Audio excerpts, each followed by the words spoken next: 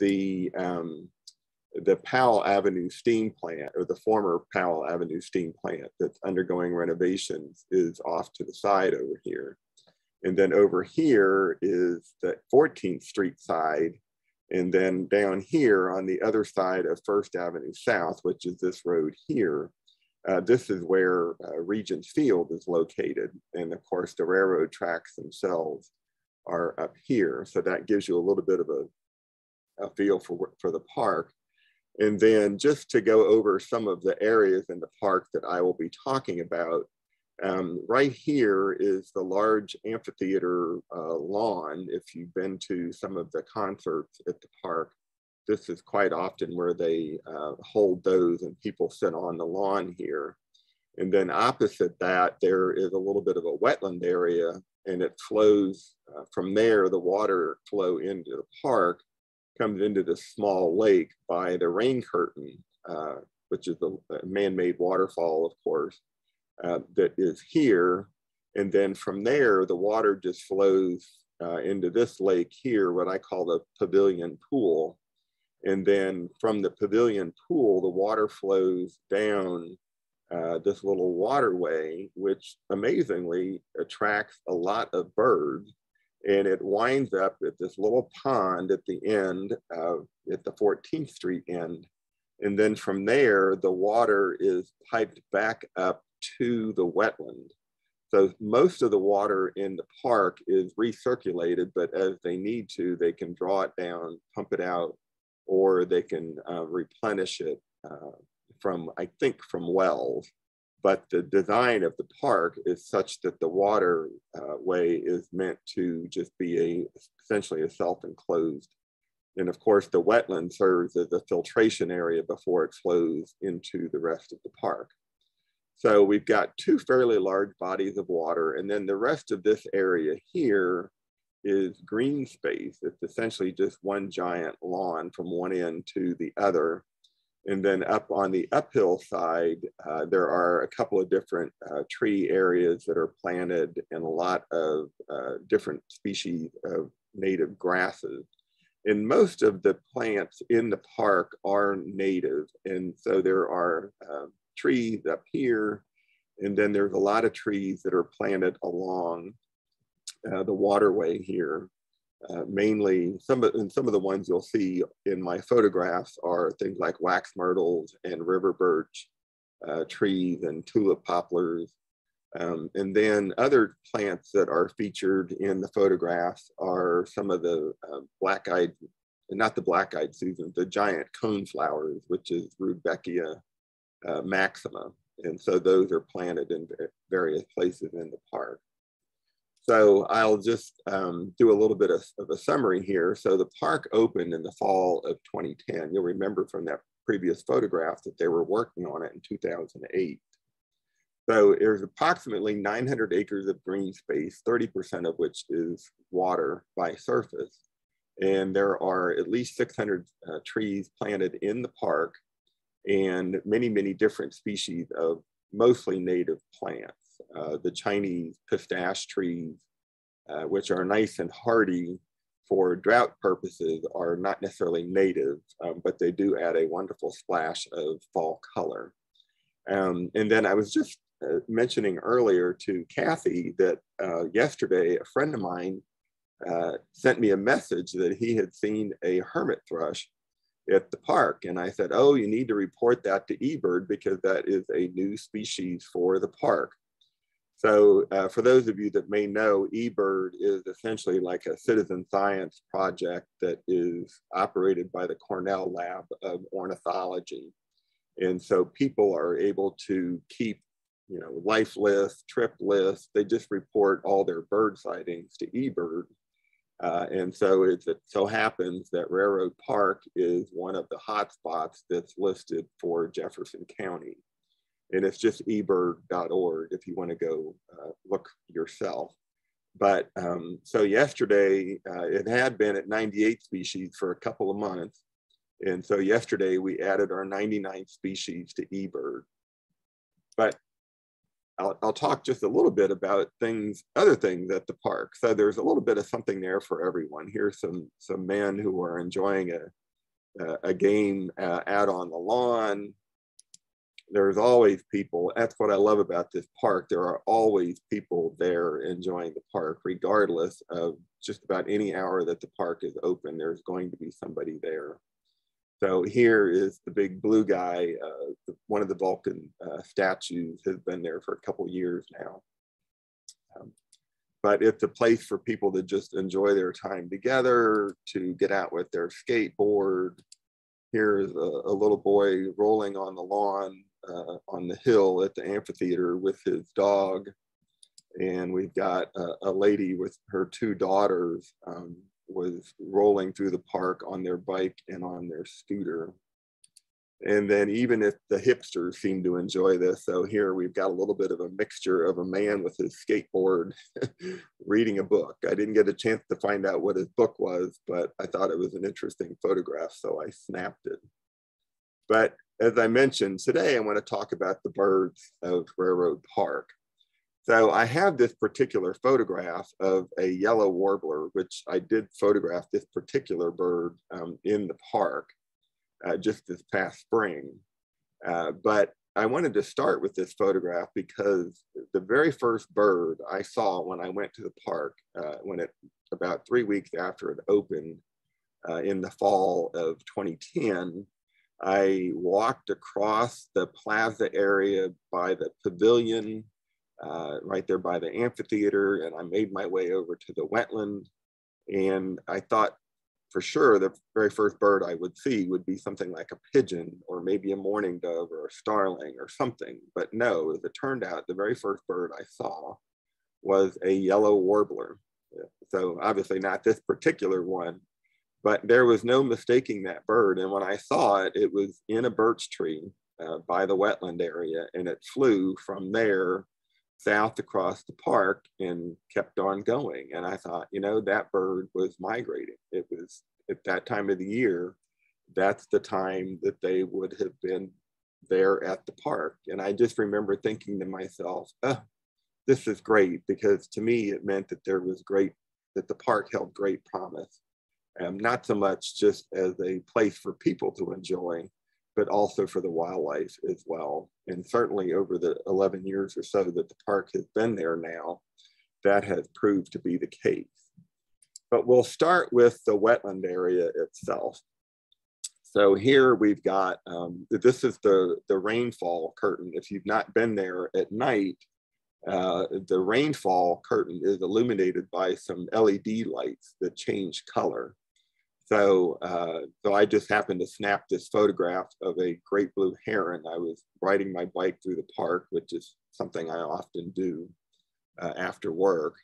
And I happened to see this bird and I thought, well, I'll go ahead and get this photograph because I knew it was something I don't see every day. And I often do carry my, my uh, camera with me just for this very reason, because I never know what I'm gonna see. But in the daylight, this is what a great blue heron would look like. And in particular, this is a young bird. If this were an adult bird, um, the colors would be a little more mature and not quite so mottled and rusty looking. Uh, the adult's a little more of an overall slate blue, uh, kind of a steel gray color. And it would have long plumes that come off the back of the head.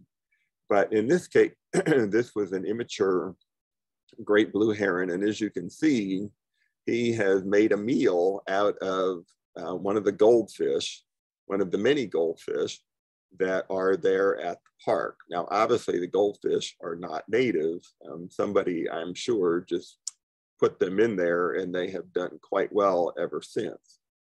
So there are plenty of goldfish and there are some grass carp, uh, of course, that are there. But I suspect there are some other native fish uh, in there as well although, as I mentioned earlier, all of the water in the park is it's a completely man-made waterway. So any of the things there would have either been introduced by people or perhaps even by, you know, crayfish or something like that, uh, turtles, uh, making it on their own. And then another bird that I often see in the, the wetland area is the great egret and primarily the, the great blue and the great egret are year-round resident birds here in Alabama. And the great blue is a pretty regular bird at the park, but the great egrets, not so much. Um, I'm not quite sure why that is, uh, but they, they do occasionally make a visit.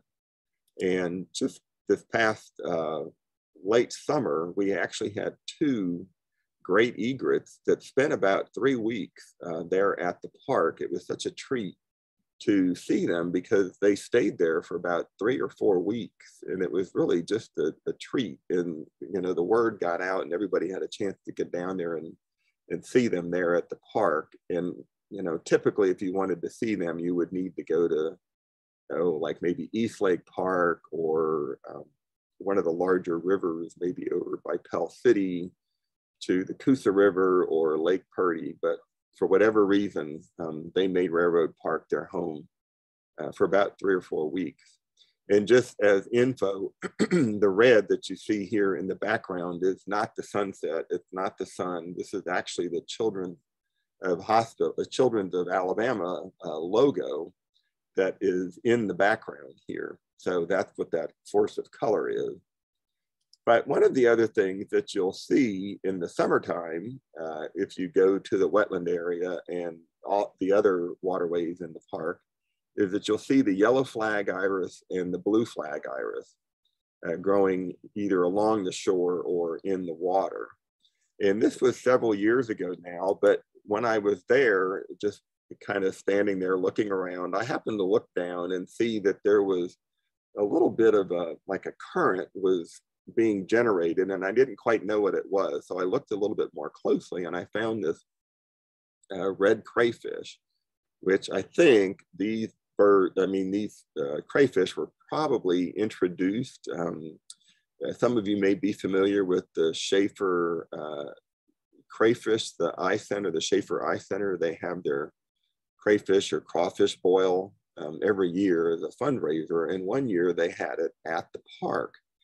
And my guess is that when they got to the end and they had some crayfish left over that were still alive, they just said, oh, let's go ahead and release them.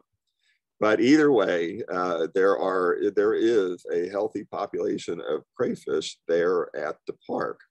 And so this particular one was clinging, as you can see here, to a stalk of a yellow iris and it was using its little swimmerets, its little legs, and then these little swimmerets that are up here underneath uh, between the front uh, pinchers there.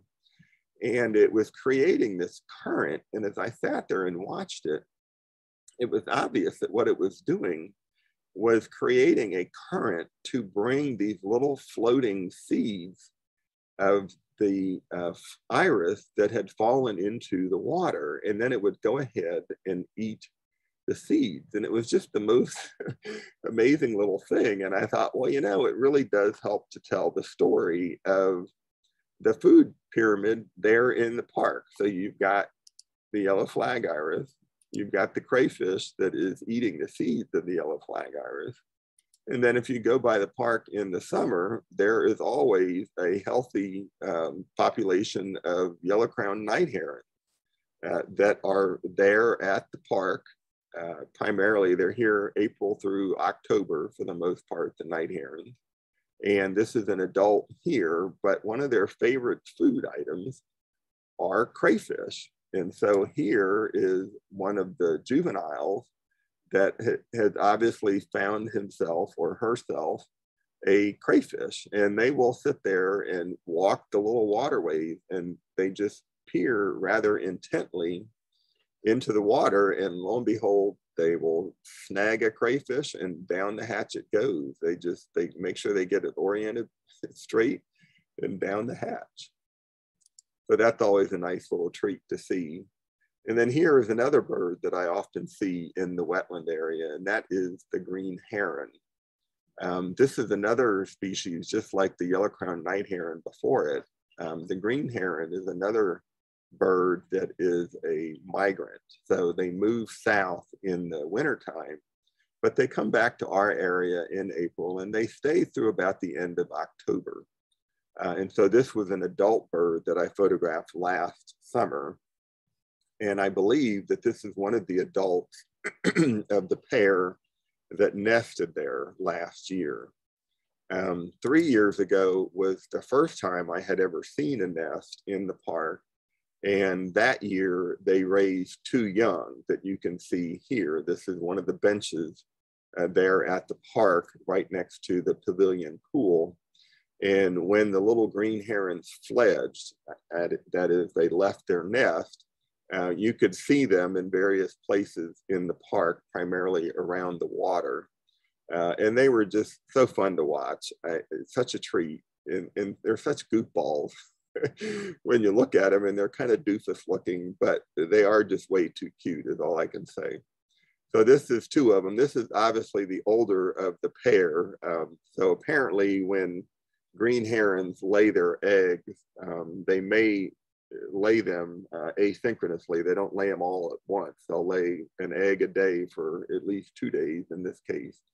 Um, but then they will start uh, incubating just as soon as they lay the egg. And so it, what happens is that you have generally one bird is a little bit older, a little bit further along in its development uh, than the other birds. And so that's what you see illustrated here. Um, but if the food is good, they will manage to, uh, to raise both of them successfully, which is what happened in this case. Uh, this past summer, there was just, there were two birds that, uh, that were hatched that I observed in the nest, but I only ever saw one of them as a fledgling. So I don't know if the other one uh, just fell victim to Perhaps it, it was a prey item for another bird uh, once it left the nest, or perhaps it just never fully developed and it died uh, even before it had a chance to leave the nest.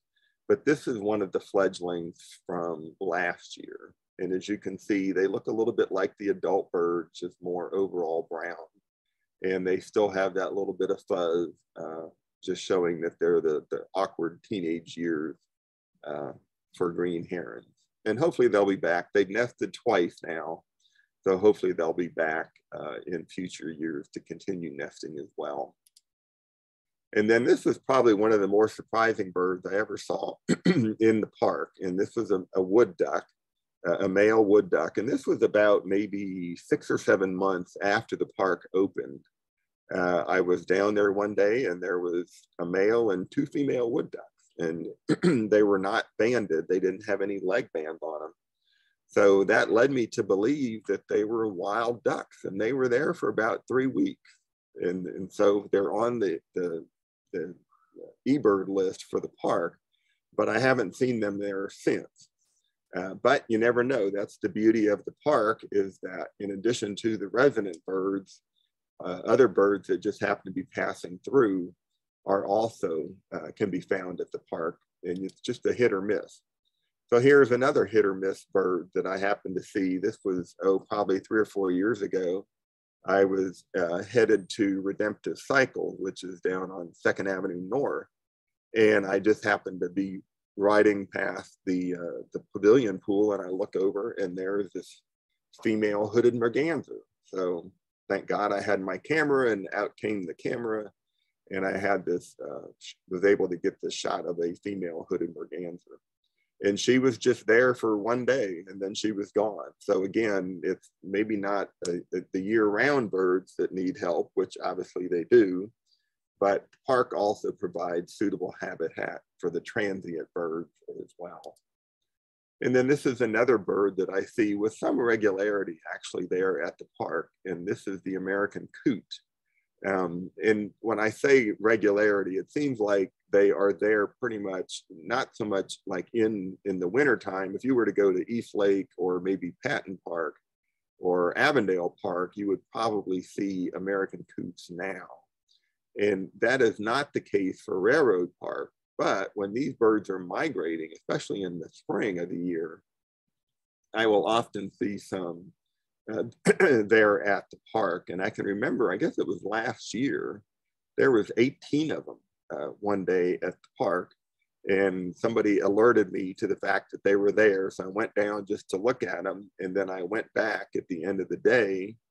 And just as the sun was setting, uh, you could tell the birds were kind of getting restless And then when it came time, every last bird, within the span of about a minute, every last bird just, they all took off, flew west, and then banked and, and continued flying north.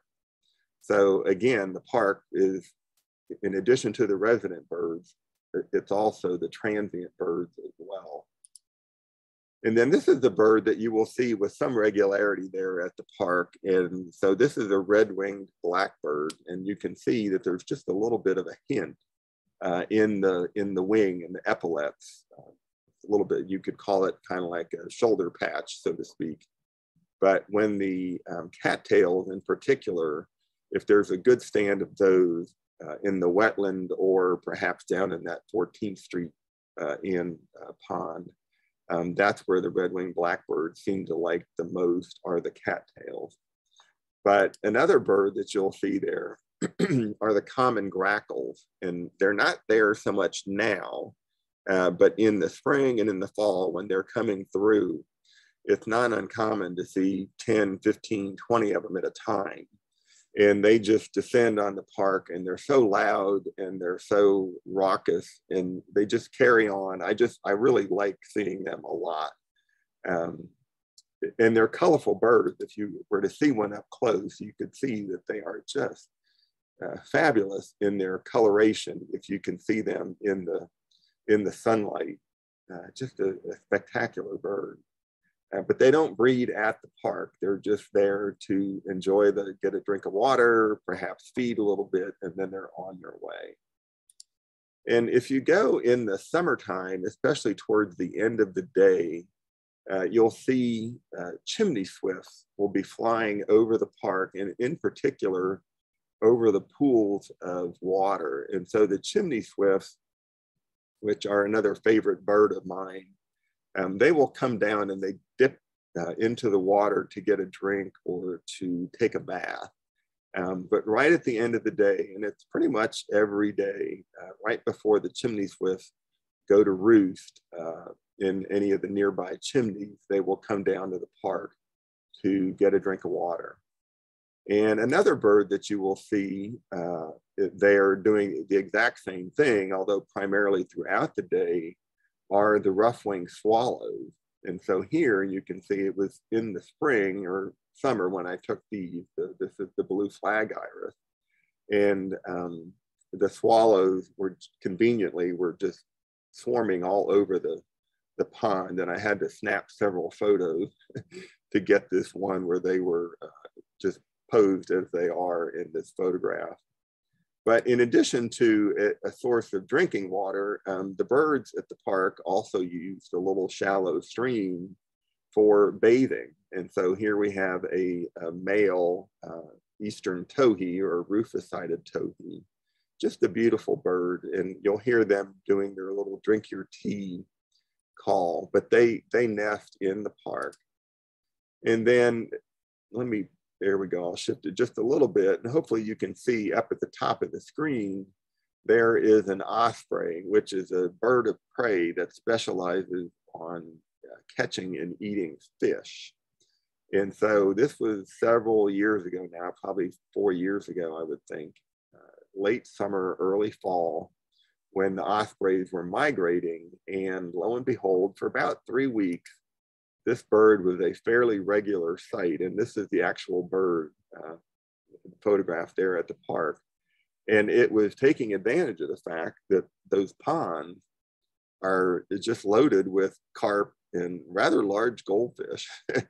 and so uh, he just made himself at home there for about three weeks and kept on going. And, and he, as, as I understood it, he kind of alternated between Railroad Park and Avondale Park which as the osprey flies, you know, those are not too far from one another. Uh, and same thing for Patton Park. So my feeling is that this bird was just making the rounds on a pretty regular basis. So, but some of the other food sources in the park would be plants. And so to me, that's where this park uh, really does shine. It's, it's an, a great example of if you plant the right plants, the birds will come. So I mentioned earlier the giant coneflower, or the Rudbeckia maxima is the species name for it. And this is what they look like. And so this part right down here is not the flower. The flowers are actually these little individual tiny things that you see up here. And each one of those, once it blooms, they bloom in sequence. And when they get um, pollinated, they form these little seeds. And so it looks uh, maybe not the most attractive thing once, once it goes to seed, but it is just an incredible source of food for the birds. And so in this case, we've got a house sparrow, which you know may may not be the most exotic bird. Uh, I, I was so thrilled to see that this particular bird was eating native seeds and not hanging out at the McDonald's parking lot begging French fries from from passersby, which is how I typically envision a house sparrow. But there's a good population of them. They're not native, um, of course, but um, they are there at the park. And so you get to know them quite well. But again, he is, he and she, there, there's uh, females there at the park as well. Uh, but they will uh, dine on the coneflower when the seeds are uh, ready.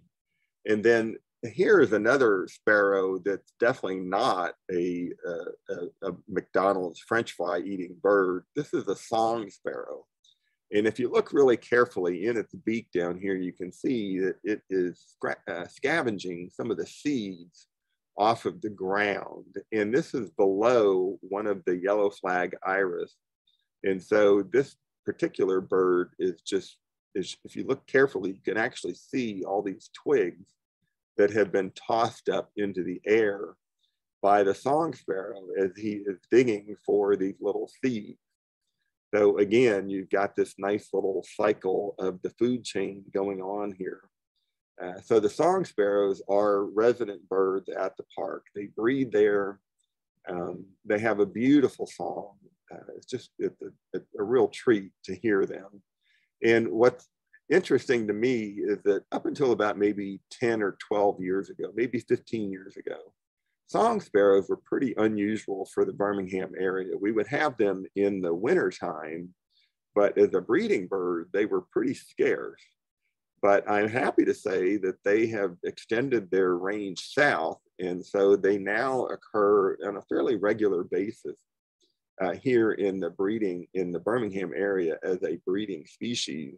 And certainly Railroad Park is one of the strongholds where you can now go uh, and see them. Uh, they particularly like the, the little stream that runs along First Avenue South and any of the plazas there is a good spot. They, they really do like those river birch trees and the wax myrtles and uh, they're just a, a treat to see for sure.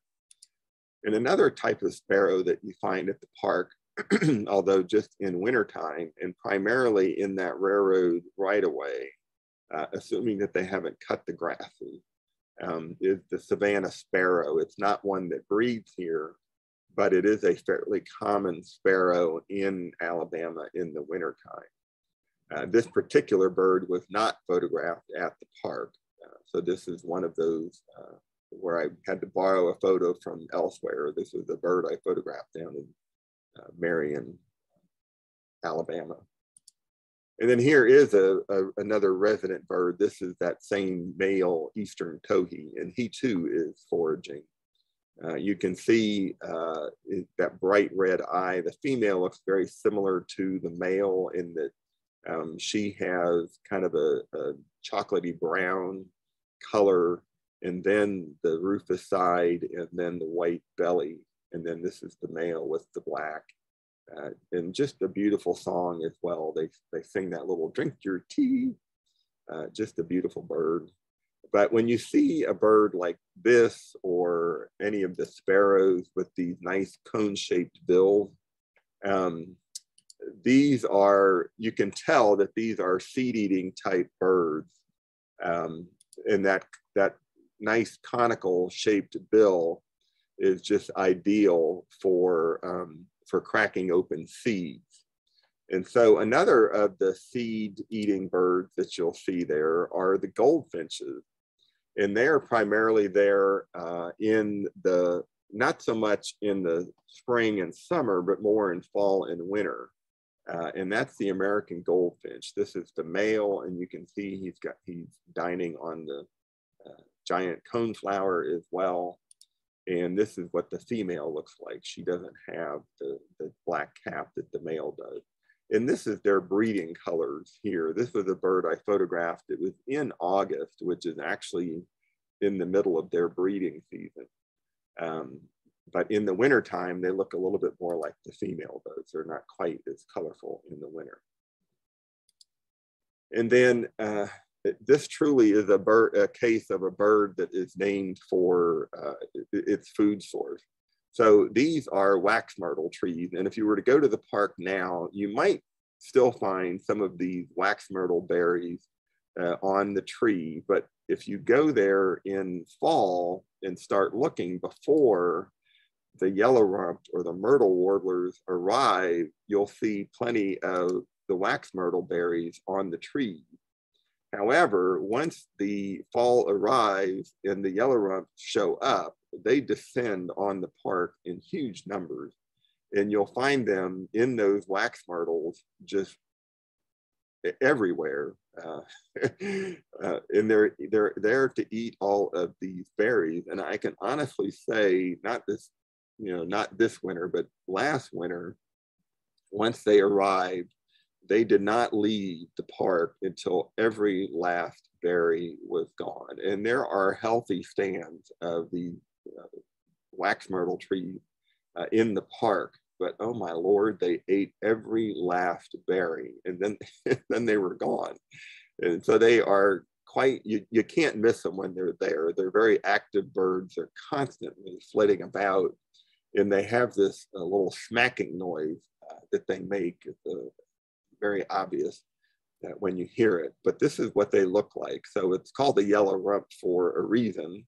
Um, but prior to their being renamed the yellow rump, they used to call them myrtle warblers. And so now they're called yellow rumped war warblers, but we use the myrtle warbler to distinguish it from the Audubon's version of the yellow rumped warbler. And the Audubon's is a Western species of yellow rump, but it's technically considered the same species. Uh, but this is what they look like. And then another bird that you'll see uh, dining on the trees and the uh, plants at the park are the house finches. And so here we have a male house finch that is eating the seeds of a green ash. A little bit later in the season, you'll find um, cedar waxwings. So the cedar waxwings are here now, and they too are enjoying the, the bounty of the park. And if you look really carefully, you may eventually find a, uh, a cedar waxwing that doesn't have the typical yellow tip on the tail, but you might see one that has an orange tip. And the reason they have an orange tip is because those are birds that have been primarily feeding on a, it's a species of honeysuckle that is non-native that gives them uh, that particular orange coloration.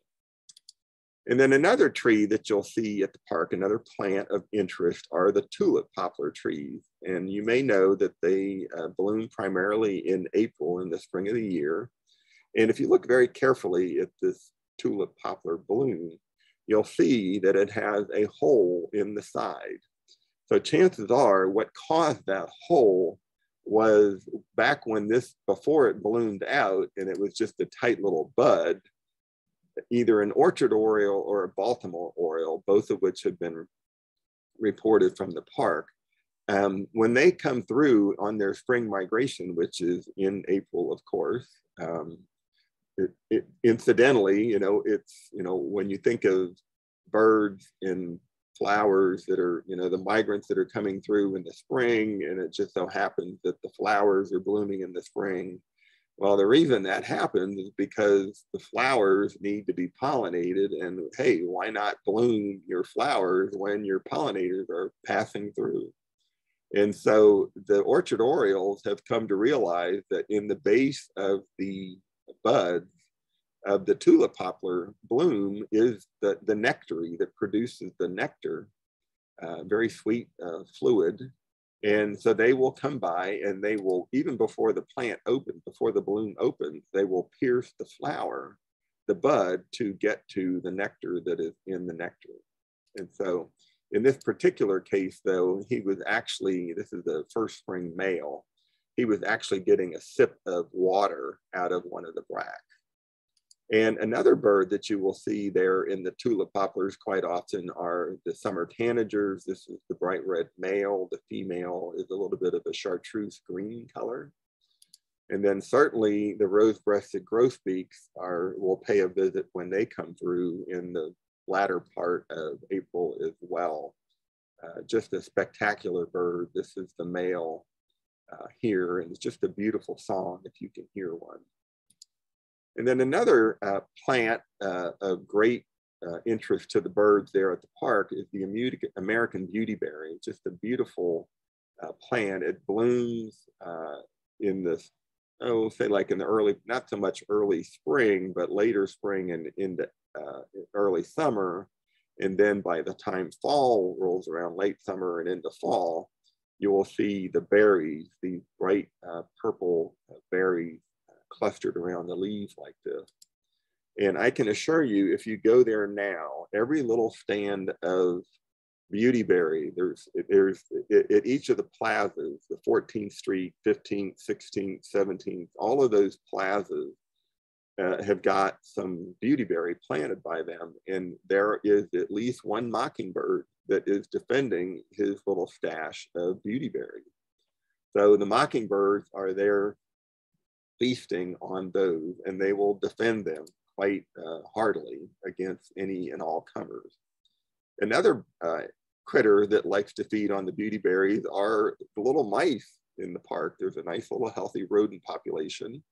And so here I just happen to be watching one day and look down and I see this movement. It catches my eye, and lo and behold, there's a little mouse feeding on the beautyberry. And then, as it so happened, he was also harvesting some of the seed heads from the cone flowers. And so he would walk out, he would kind of clamber out to the end, snip it off, and then he would essentially drop to the ground with the seed head in his in his uh, grip, and then he would take it down to his little burrow that was at the base of the plant.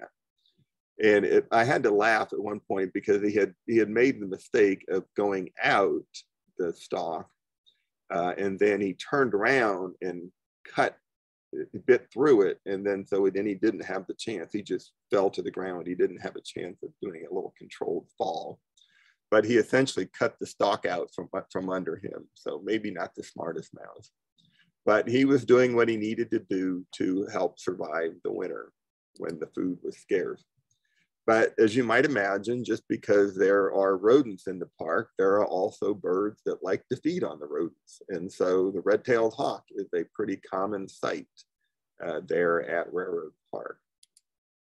And also the, all the plants uh, attract insects. Here we've got a leaf-footed bug on the American beautyberry. And certainly there are some years more so than others, there's a good population of dragonflies that you'll see but with all the insects that are there at the park, you'll also find the insect eaters like this eastern phoebe, which is a year-round bird for us. Um, and it just so happened just last summer, almost not last January, I should say, almost a year to the day, uh, I was down at the park and I happened to look up and saw this uh, eastern phoebe flying up from the water. It had smacked into the water and was flying up to a perch. And I thought, did that bird just catch a minnow? Because it's an insect eater. And I thought, well, that's really odd. So I watched it a little bit, and lo and behold, uh, it, the what I thought was exclusively an insect eater turned out to be one that will also uh, advantageously feed on uh, minnows if they can if they can catch one. So I actually watched this bird catch three minnows in total. And I later went home and, and did a little research and found out that they they do indeed have been documented catching minnows uh, at other places, especially in the West. There's a species called the black phoebe that has been documented um, catching minnows, uh, not so much the eastern phoebe. Uh, so I, I, I, went ahead and wrote that up for uh, inclusion uh, in the Alabama BirdLife magazine that will be coming out soon. But here's another eastern, uh, this is an eastern wood pewee, which is another type of flycatcher. So they have these wide bills. And if you look carefully, you can see on these birds that they have these little bristles around their uh, beak, which help them to sense when the insects are there because they'll, they'll perch in the open like this, and then they will fly out, catch an insect. And those little rictal bristles, they call them, uh, help the birds to uh, know when to snap their bill closed. And here's another uh, type of a flycatcher. This is an eastern kingbird. Uh, this particular photograph was not made at the park, but I have seen them there a couple times now. Red-eyed vireos are another insect-eating bird, but these are birds that tend to glean insects from the canopy rather than the fly-catching technique of flying out and catching one and coming back. These are birds that like to stalk through the canopy, so to speak. Here we have a black and white warbler, beautiful little bird that is on a crepe myrtle trunk. Um, here we have a bay-breasted warbler in the fall uh, that is in a, uh, I think that's a, not the river, I guess that is a river birch uh, now that I think about it. But the river birch is just a really buggy kind of tree. And so a lot of the uh, warblers and the other neotropical migrants like to hang out in those trees because of all the insects. Here we have another plant that really isn't so much a plant that feeds birds directly, but is one that attracts the insects that the birds feed on. So here we have a northern water thrush, which is a type of warbler uh, photographed in the park last fall. And lo and behold, as I was sitting there watching this bird, I noticed that it was just kind of jumping up and down uh, in I couldn't quite tell what it was doing. And so when I got home and looked at my photograph, I could see that what it was actually doing was catching all these little insects that were buzzing around the blossoms of the Virginia sweet spire. So even though I wouldn't necessarily think of, you know, warblers and sweet spires going together, what they're what they have in common is that they're both there for the insects. The insects are what attract them there, I should say. But other birds that you can see in spring and fall migration, I'll just show a, a quick uh, couple of them here. Spring and fall migrants that come through but don't breed in the park. Again, these are just transients that are taking advantage of the suitable habitat. Here we've got a prairie warbler that has caught a spider that just a few seconds before I made the photograph, that spider was safely ensconced up under this dead leaf in the river birch. Um, another rather colorful warbler that you'll see uh, there in the park is the male American redstart in migration. Um, here is perhaps maybe the rarest bird I've seen at the park, and this is a clay-colored sparrow. And I, I, can remember talking to my sister Treese on the phone, uh, and I said, Treese, I got to hang up. There's an unusual looking bird I need to check out. So I quickly snapped a few photographs and I was pretty sure that it was a clay colored sparrow just based on this gray on the nape. A pretty distinctive bird. And I'd only seen them a handful of times always down at the coast. And so I later found out that this was the eighth sighting of a clay colored sparrow in the mountain region. So in our area of Birmingham. And it was just there for the morning. Uh, I'm not sure that anybody else even saw it, but again, there it was. It was there one day and had gone the next. Uh, other uh, birds that you'll see at the park is migrants, common yellowthroat. Here is a female and or immature, not quite sure, it was in fall migration and it's hard to tell them apart at that age. Uh, here we have a young magnolia warbler, a ruby crowned kinglet, which is a, a winter bird and speaking of winter birds, we also have white-throated sparrows uh, there at the park. Uh, in this case, they too are feeding on the seeds of the green ash. And then some of the uh, breeding birds at the park. Uh, I mentioned earlier the song sparrow. You can see one here. I just happened to catch them in full-throated song. Uh, mourning doves certainly uh, nest at the park. I just love them. They're plain looking bird, but if you look at them up close, that powder blue eye ring is just the most incredible color. And it's just, it's a beautiful bird. It's, it's the only species that I know of in Alabama that has been documented nesting every, every month of the year. Typically, they're like the other birds and, and nest in the spring and in the summertime, but in this case, uh, this particular bird, this was photographed just this past summer. Uh, here we have a young brown thrasher uh, photographed there, actually right next to the pavilion uh, in one of the magnolia trees there. Uh, northern mockingbirds, I showed you a photograph of them earlier. Uh, here they are. This is the bird that is defending his stash of possumhaw berries.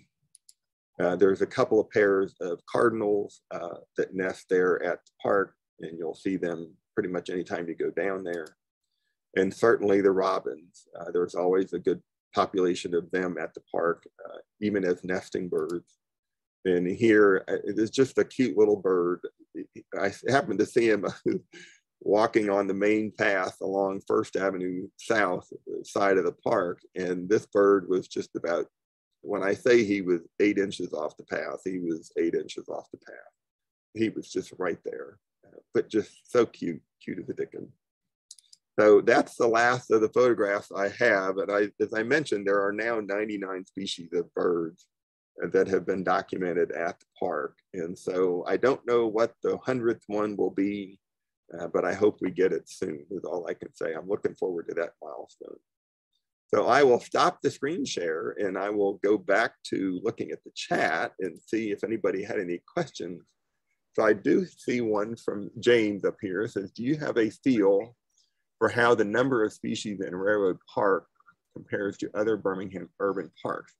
That's an excellent question. So my feeling is that, that the other parks, um, it, it, depends on the variety of the habitat. So if you were to go to Avondale Park, uh, because Avondale, it has a water source just like Railroad Park does, and they're very similar, but the, there's much more mature trees at Avondale Park. If you were to go to, say, East Lake Park or Patton Park, which is the park that's there, um, there at the Tallapoosa Street exit off of I-2059, uh, Patton Park doesn't have nearly, it has a good stand of hackberry trees. And hackberries are great for attracting uh, birds that will either eat the berries or uh, the insects. Uh, hackberry is another buggy uh, type of tree. But generally, um, the what really makes the difference is having a source of water and a good variety of plants. And so, if, and if I can use Railroad Park as an example, when I first started keeping my eBird list at the park, I, I remember when, when I hit like 35 or 36 species, I remember thinking to myself, oh, I hope that someday we're able to reach 40 because I thought that would be a great goal. And then lo and behold, you know, here we are on the brink of 100. And I think the reason that is, is that as the trees in the park are maturing and as the plant life is maturing, um, it's attracting more and more birds because of those plants. And so I, I honestly think, you know, at some point, it wouldn't surprise me if we're able to get to 120 or 125 different species there at the park. And, and what's going to be the key is birds that are coming through in migration. If you were to go there now, you know, you would see the mockingbirds, the cardinals, uh, the song sparrows, the house sparrows, and, and, maybe not a whole lot else. Uh, my friend uh, Gary that spotted the hermit thrush there yesterday, that was the 99 species. So um, they are, it's going to be birds that are just there on a temporary basis. Another unusual bird that I've seen at the park twice now in the 11 years I've been going by there is eastern meadowlark. And, you know, that even though there's open grassy areas, it's really not meadowlark habitat with the exception of um, where the like where the switchgrass is growing on the hillside that borders the north part of the park. And as, as you might imagine, both of the times that I have seen the meadowlarks there, uh, they they quickly went into the first opportunity they got, so to speak. They went into that habitat just because it provides the cover. So the source of water in the in the plant life as that mature, that's what's going to make the difference um, there at the park. Uh, um, goldfinch. Earlier, earlier in your presentation, you showed us a tanager. Yeah. Uh, uh, but it didn't say scarlet tanager. Are, are, there's a difference, right? In, in what yeah, yeah. So the one that was in the photograph was a summer tanager, and so that is the bird that we have here in Alabama as a breeding species, uh, Uh, pretty much April through October. And so, but the scarlet tanager, which looks very similar to that in terms of the males are this bright red color but in the scarlet tanager, they have a jet black wing. It is just, it's quite the contrast. It's an all red bird on the body, but it's got a jet black wing. And they, they sound a little bit alike, um, but you can usually, if you listen carefully, you can usually pick them apart. They sound a little bit like a robin, actually.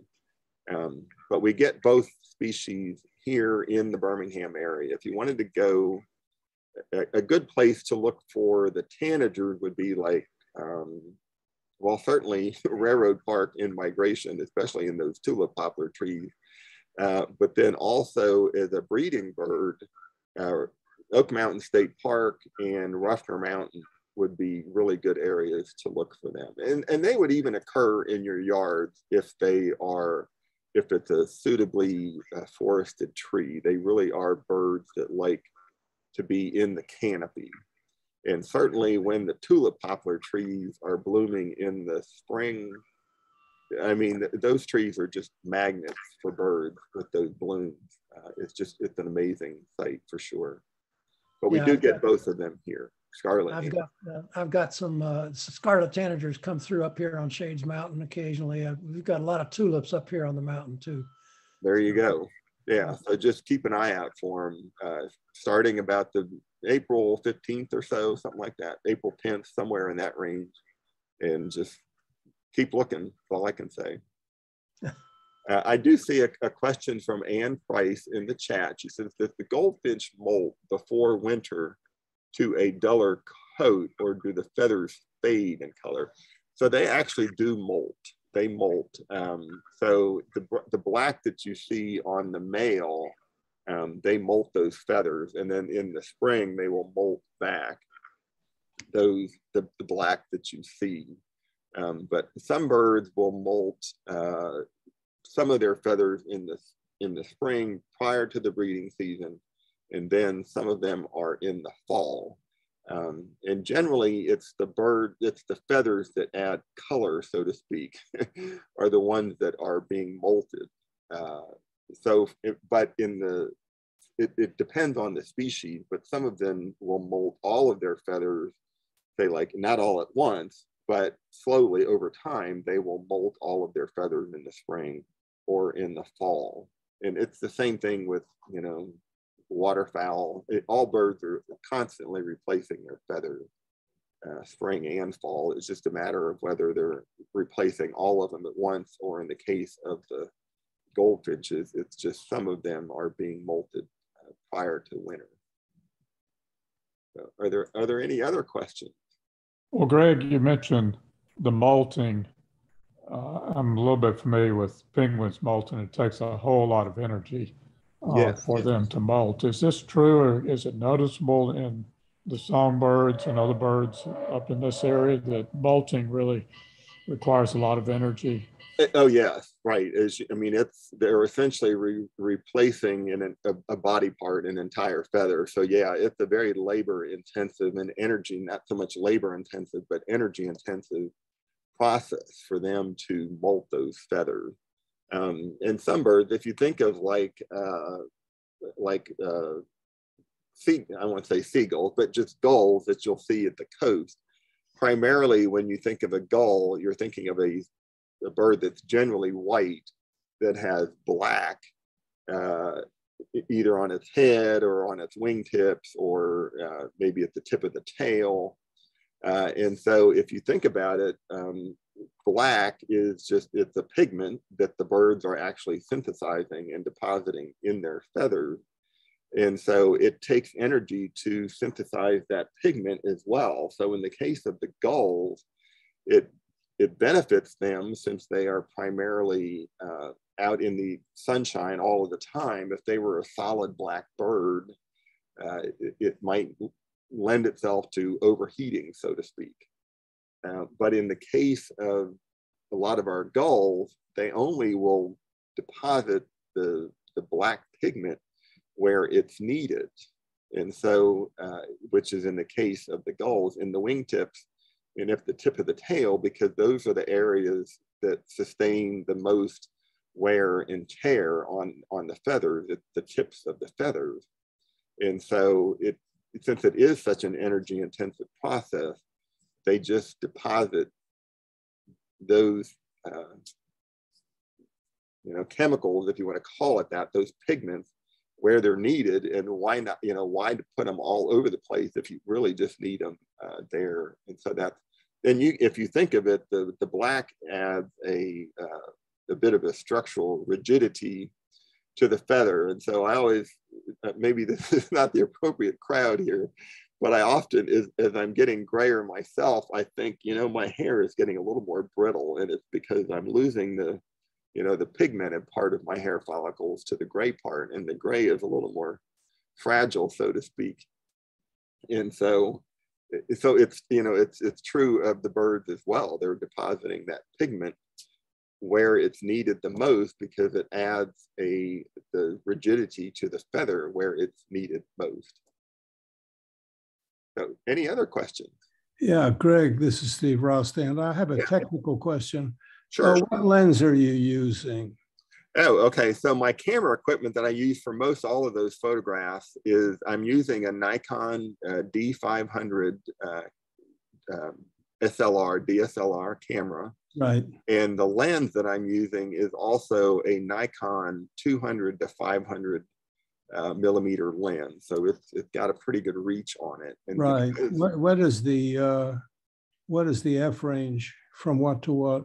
Uh, so it's it starts at like 5.6 and i can't remember if it goes to 22 I, I think it might be 5 6 to 22 or maybe 28 so when you're at 500 you're really fairly limited in your light. Uh, yes yes most definitely. Nice. But you know, the nice thing about the D500 is that it has a pretty good uh, capacity, the ISO capacity, the ISO range on it. And so typically my typical setting on a, on a typical day, if it's a sunny day, would be an ISO of 1000. And then almost all of my photographs, I'm using my flash uh, on the camera. It's not, it, the camera doesn't have a built-in flash but I have an external flash. And so that adds a little bit of a pop, uh, a little bit of a highlight to the eyes if I'm close enough. One of the one of the things I noted, I took some photographs of some birds in nests, and I used a flash, and I mm-hmm. discovered that the birds don't seem to get startled. Yeah, yeah, and, and so I know in some place, it, it seems to me that in places where thunder and lightning is you know, a common occurrence in the lives of these birds. Uh, you know, a flash of light isn't anything that surprises them, especially if it's a bright sunny day. And you might think, well, you know, if it's a bright sunny day, why are you using a flash in the first place? And the reason I do that is to help remove some of the shadows, um, to help compensate for deep shadow. And it just tends to make it a more overall. And then if you've got, let me see if I can go back to, uh, Oh, let's see here. I may have to try to share my screen so I can show you an example of one. Go back to, let's see. Yeah, so here is the Magnolia warbler. So as you can see, the bird is pretty well illuminated. And then right here in the center of the eye is that little white spot. And so that is, you know, that's the influence of the flash uh, doing that. So I'll stop the screen share again but yeah, so I use a flash, and I, am surprised more people don't use flashes, uh, to tell you the truth. But um, it's one that I typically use. The other lens that I use for my landscape uh, pictures is a 28 to 72, I think, or it might be an 80. uh, but it's another Nikon lens. Okay, thanks. Oh, sure. Uh, we have another question from Anne. Says, as birds age, are they less able to make strong pigments? Uh, you know, that's a good question. I'm not sure if I would even know that. Uh, I think that they're able to continue doing that. I mean, I when I think of birds, uh, I, I would say that that's probably true. That, that I mean, that it's not true that they are able to continue synthesizing the pigments that they need. And I think maybe the reason that that might be is just that as birds get older, if they become feeble or weak, uh, well, then they become quickly part of the food chain. Um, you know, they're somebody else's prey item. Uh, but th that being said, uh, there are situations where you can you'll see a bird that clearly is having problems synthesizing pigments. And what comes to mind is about maybe four years ago, there was a herring gull that showed up at Avondale Park that was just in horrible, horrible shape. It, it stayed there for like, I don't know, four or five weeks.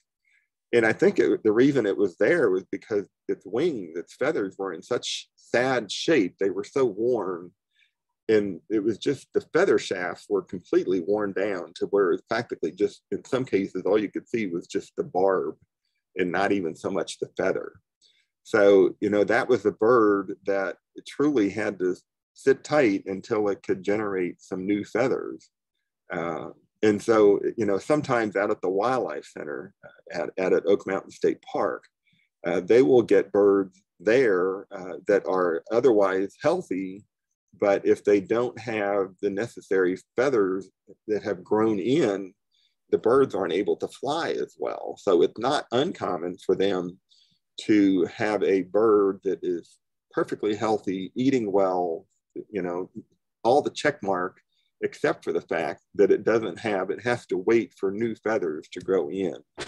Now, in some species of raptors, in particular, the larger birds, it is possible that you can imp a feather where you just collect a feather from a, a donor wing, uh, a bird that was previously deceased.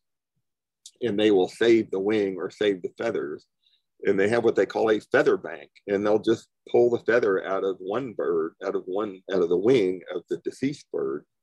And they will just, if they've got, it's always the exact same feather in the exact same location on the wing because they're they're very specific in the number of feathers they have in their secondaries and in their primary feathers. Um, but so what they'll do is they'll clip it down to the base of the uh, previous feather that had been there, the defective feather, and then they will just glue in the, the donor feather. And then that way they're able to release the bird ahead of schedule. And then when the bird naturally molts the feather that should have been there, well, then the donor feather comes out and, and the new feather grows in. So that's that's uh, one way to take advantage of the fact that birds are pretty regular with their uh, molt patterns.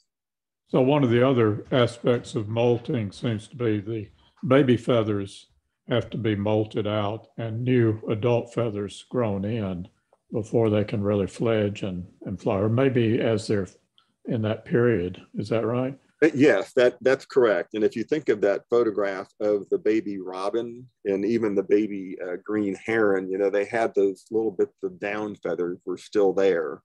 So the down feathers are their first feathers and those quickly grow out and then you'll get these little pin feathers, the juvenile feathers growing in. And then typically birds that are born or hatched, I shouldn't say born, that are hatched in the spring of the year, they will undergo their first molt in the fall of that, of that same year.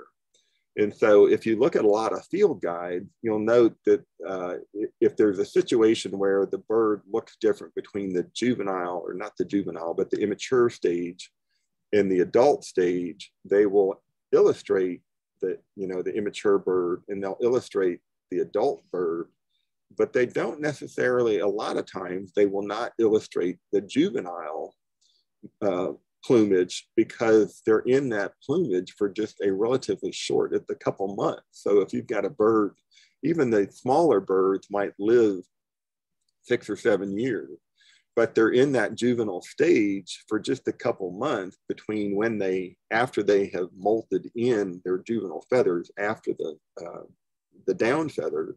And then in the fall, they will molt their either their flight feathers or their body feathers or contour feathers. Um, and so because it's such a short time span in the life of the bird, and because the space is limited in these field guides, they will just illustrate the, the immature plumage that the bird will then have until it reaches the point where it becomes an adult. Uh, in, in the case of like the gulls and bald eagles, for instance, you know, they'll illustrate uh, the subsequent years um, until they get to be the adult. But for the most part, say like those uh, summer tanagers, for instance, or even the the, the oriole, that uh, orchard oriole, uh, their first spring back, the males look like the one that you saw there in, in the photograph. So that was that particular bird was a bird that had been hatched the previous spring, and it was now a year old, coming back for its first nesting season. The next year, this year, when it comes back, it will actually not be green and black or green and dark on the wing. It will actually be a uh, a brick red color so that's what they call a bird that's like a two year, it takes them two years uh, to get their adult plumage. And in the case of some of the gulls, uh, they'll say, well, it's a two year gull or a three year gull or a four year gull. And what that refers to is the number of years it takes for them to achieve their full adult plumage. So I don't want to divert us to penguins, but you're talking about molting, and they have a very interesting uh, aspect to molting. They have to do it very quickly because their season uh, is, is only a few months before they then have to go to the water for the rest of the year. And so the, the chicks, uh, they molt, they have to molt before they can go to the water because their baby feathers are not waterproof, so they would drown. So they're at the end of their season, they're having to molt all their feathers at one time, pretty much, or yeah. over a short period of time, and grow new adult feathers, which is very energy um, dependent. And so the only energy they get is the feedings from the adults that are going off to feed and bring food back to them because there's no food on land. Mm. So they molt very quickly, and their entire bodies basically at one time has to molt. And then the adults also at the end of the season, the adults are molting because they're putting on new feathers for having to spend the rest of the year, bulk of the year in the water and on their own without going to land. So mm-hmm. it's very interesting. At the end of the season, you're seeing the babies growing their their adult feathers at the same time. Often you're seeing the, uh, even after that, you're seeing the adults molting to get rid of those old feathers and get new good ones for the rest of the year. So it's just interesting difference in molting between those and the birds we see around here. Yeah. Another bird that would employ a similar strategy as far as molting a lot of feathers at once are waterfowl. Um, because if you think of uh, males and females, they're sexually dimorphic. The males tend to be a little more colorful than the females and the males will molt their feathers uh, after the breeding season and, and they essentially as you said they will molt a, a lot of their feathers uh, all at once uh, before they grow in the new feathers and so for a span of about oh, maybe two or three weeks the males and the females are flightless they're, they're unable to fly uh, while they grow in the new feathers Greg, thank you very much. Oh, you're most welcome. And we'll be back to you to ask for a walk through the park in the spring. I, I would love to do that. I would really, really welcome that opportunity. We're going to plan it. Okay. Before, before we sign off, okay. Before right. we sign off, I would just like to uh, once again uh, thank uh, Greg for being such a good friend to me all the years uh, uh, that I moved here, uh, and also give him credit for being the one that referred me to New Horizons. Yeah, Oh, okay. Yeah, thank you, Greg. no, you bet, you bet. Ryan, I'm coming to you live from, from the dental school here in the lab. I just have my Audubon screen up on the, on the picture. Right. I'm here at the lab up on the. Your experiments are working, right? Uh, yeah, right.